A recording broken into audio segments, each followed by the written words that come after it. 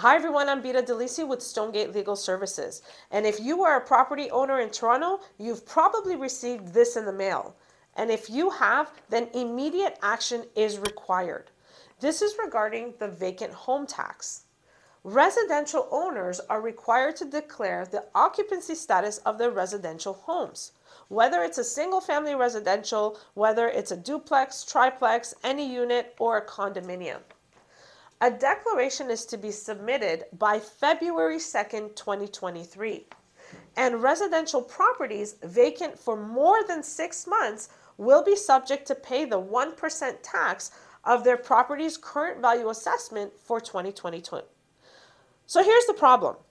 With the current delays of the boards providing a notice of a hearing, which currently take about seven to eight months, why would a landlord invest in property and have somebody telling them what they need to do with that property? The issue is that the government is putting this in place to stimulate the market. And by that, I mean is that so small landlords will be forced to either sell their properties or be encouraged to rent them. As I've mentioned with the current delays at the Landlord and Tenant Board, it will take seven to eight months just to receive a notice of hearing.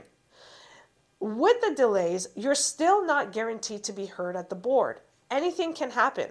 There could be an issue with te technology, it could be a scheduling overload, the adjudicator can forget to show up to a hearing. All of the above have happened in the past. More importantly, if a person has the financial capabilities to invest and purchase property, not only to invest and purchase, but to offset the mortgage, the expenses, property taxes, why should they listen to a, a bigger body tell them what they need to do with their property? I hope you found this video informative. Bye for now.